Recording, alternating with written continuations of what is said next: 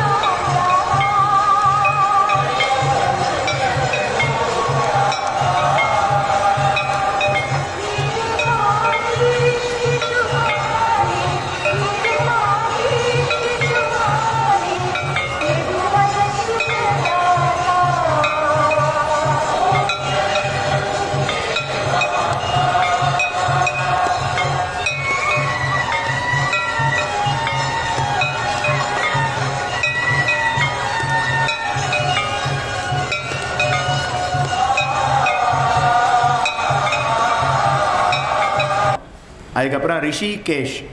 அங்கேயும் கங்கை ஓடுறது. அங்கேயும் விசேஷ ஹாரத்தி பண்ணுவா. ராம் ஜூலா லக்ஷ்மண் ஜூலான்னு சொன்னோம் இல்லையா? அந்த இடங்கள் எல்லாவற்றையும் சேவித்து கொள்ளப் போகிறோம். அடுத்த நாள் காலை அங்கிருந்து கிளம்பி நேர அஞ்சு மணி நேரம் பிரயாணம் பண்ணோம்னா கண்டமென்னும் கடிநகர். ஒரு பக்கம் பாகீரதி இன்னொரு பக்கம் அலகநந்தா. ரெண்டும் சேரக்கூடிய இடம் தேவப்பிரயாகின்னு சொன்னமே.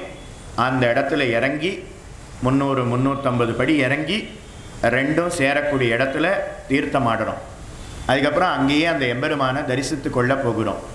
எல்லா இடத்துலையும் அடியனுடைய காலக்ஷேபமும் உண்டு. அந்த இடத்துலையே இருந்து ஏ ஹரித்வாரை பற்றி ஒன்றரை மணி நேரம் அங்கே இருந்தே சொல்ல போகுது கண்டமென்னும் கடிநகர். அந்த பத்து பாசுரத்தினுடைய அர்த்தத்தையும் விளக்கமாக அங்கேயே இருந்து பார்க்க போகிறோம்.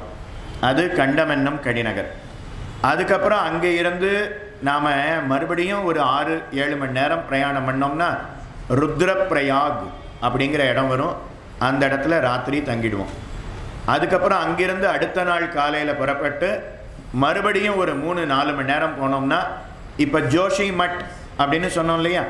இன்னைக்கு திருப்பிரீத்தின்னு வழங்கப்படக்கூடிய இடம்னு சொன்னோமே.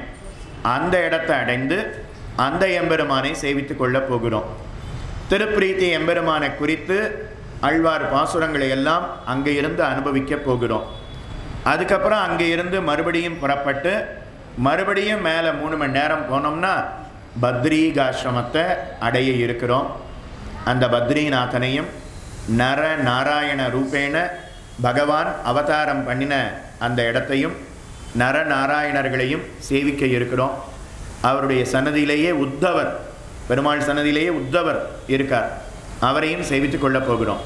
அங்கேயே நாரதர் எழுந்தருளி இருக்கிறார். நாரதர் அதுக்கப்புறம் குபேரன் அவர் அங்கே இருக்கிறார். அதுக்கப்புறம் கருடன் அவரும் அங்கே இருக்கிறார். ஏழு மூர்த்திகள் உள்ளே இருக்கா. அவ எல்லாரையும் சேவிக்க போகிறோம் அந்த வைபவத்தை எல்லாம் விளக்கமாக அங்கேயே இருந்து சொல்லப் போகிறோம்.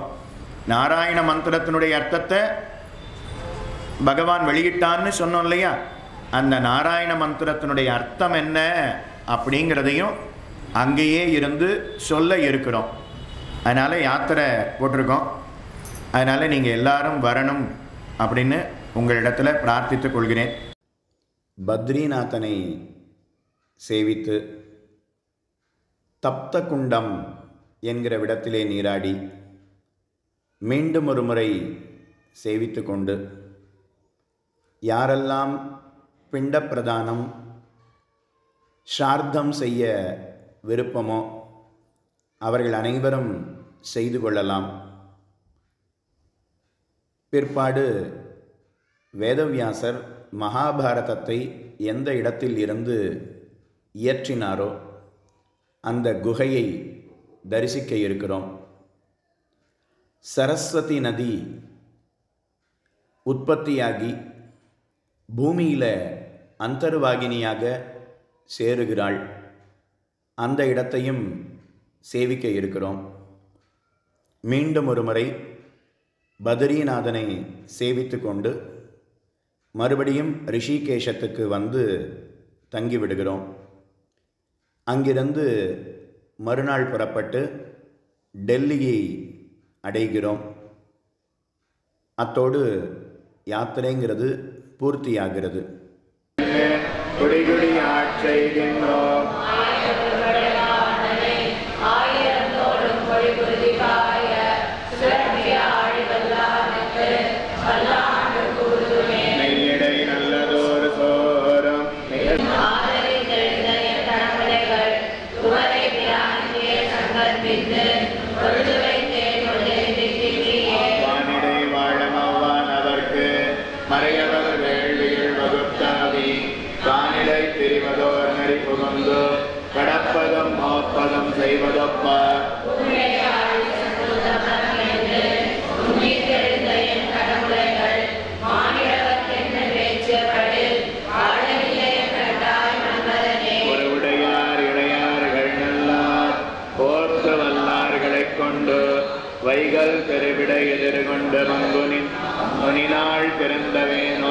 कामदेवा।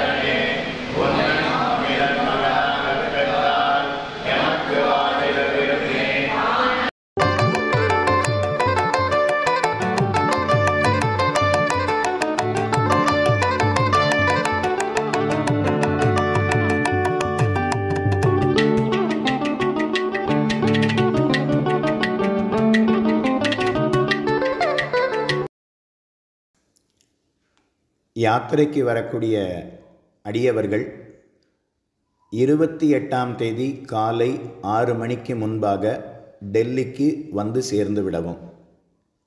அதே போல் டெல்லியில் இருந்து ட்ரெயினிலே ரிட்டன் செல்லுபவர்கள் நாலாம் தேதி இரவு எட்டு மணிக்கு மேலே புக்கிங் செய்து கொள்ளவும். சென்னையில் இருந்து ஃப்ளைட்டில் வரக்கூடிய அடியவர்கள் டெராடூனுக்கு சாயங்காலம் நாலரை மணிக்கு முன்பாக வந்து சேரவும். சென்னை டு டெராடூன். அப்படி இல்லைன்னா சென்னை டு டெல்லி அதை போட்டுக்கலாம். அப்படின்னா பதினோரு மணிக்கு முன்பாக வந்து சேரவும். ரிட்டன் டெராடூன் டு சென்னை அவர்கள் நாலாம் தேதி மதியம் மூன்று மணிக்கு மேலே போட்டுவிடவும். அல்லது டெல்லியில் இருந்து சென்னைக்கு இரவு எட்டு மணிக்கு மேலே போட்டுவிடவும் சென்னையில் இருந்து ட்ரெயினில் வரக்கூடிய அடியவர்கள் இருபத்தி ஆறாம் தேதி இரவு தமிழ்நாடு எக்ஸ்பிரஸில் புக்கிங் செய்து கொள்ள வேண்டுகிறேன். அதே போல் ரிட்டனும் ட்ரெயினில் வரக்கூடியவர்கள் டெல்லியில் இருந்து சென்னைக்கு நாலாம் தேதி இரவு தமிழ்நாடு எக்ஸ்பிரஸில் புக்கிங் செய்து கொள்ளவும். மதுரையில் இருந்து ஃப்ளைட்டில் வரக்கூடியவர்கள் மதுரையில் இருந்து டெராடூனுக்கு வந்து சேரவும். காலையில் மதுரையில் இருந்து எட்டு மணிக்கு புறப்பட்டு நாலு மணிக்கு டெராடூனுக்கு வந்து சேர்ற மாதிரி ஃப்ளைட் இருக்குது ஒம்பது மணிக்கு புறப்பட்டு நாலு மணிக்கு வந்து சேர்ற மாதிரி ஃப்ளைட்ஸ் இருக்கிறது. அதில் புக்கிங் செய்து கொள்ளவும். அதே போல் ரிட்டன் அவர்களுக்கு நாலாம் தேதி டெராடூனில் இருந்து நேரடியாக மதுரைக்கு ஃப்ளைட்ஸ் இல்லை. அதனால் அவர்கள் டெல்லி வந்து டெல்லியில் இருந்து இரவு ஏழு மணிக்கு மேலே என்ன ஃப்ளைட்ஸ் இருக்கோ அதில் புக்கிங் செய்து கொள்ளலாம். இரவு புறப்பட்டு நடு நிசையில் மதுரை வந்து சேருகிறார் போலே ஃப்ளைட்ஸ் இருக்கிறது. அதிகாலை வந்து சேருகிறார் போலே ஃப்ளைட்ஸ் இருக்கிறது. இல்லைன்னா டெராடூனில் இருந்து பெங்களூர் வரைக்கும் அவர்கள் ஃப்ளைட்டில் வந்துடலாம் அப்புறம் பெங்களூரில் இருந்து ட்ரெயினில் ராத்திரி கிளம்பினா காலையில் மதுரை வந்து சேர்ந்து விடலாம். அப்படி புக்கிங் செய்து கொள்ளணும்னா டெராடூனில் இருந்து பெங்களூருக்கு மதியம் மூன்று மணிக்கு மேலே நாலாம் தேதி புக்கிங் செய்து கொள்ளவும்.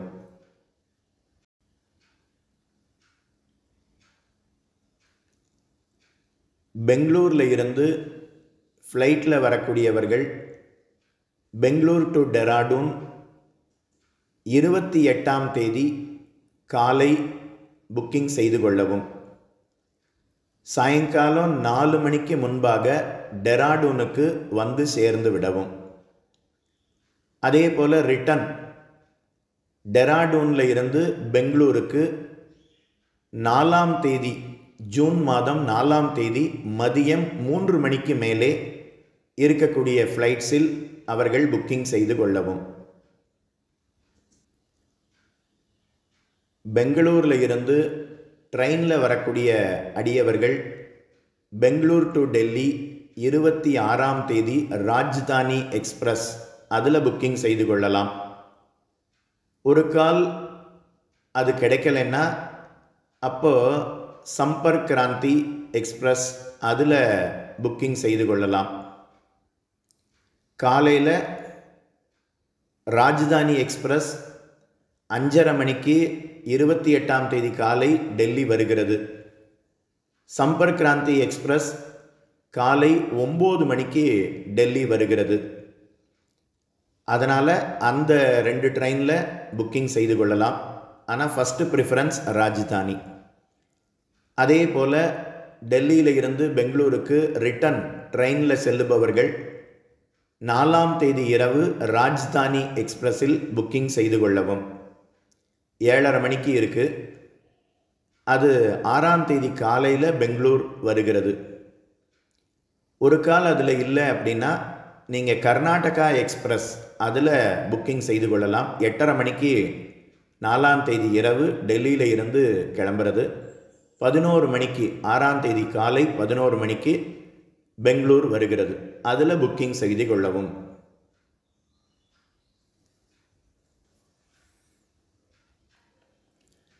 மற்ற இடத்துல இருந்து வரக்கூடியவர்கள் பாம்பேலேருந்து அல்லது பாட்னாலேருந்து இன்னும் பிற இடத்துல இருந்து வரக்கூடியவர்கள் ட்ரெயினில் வர்றதா இருந்தால் டெல்லி வரைக்கும் வந்துடுங்கோ.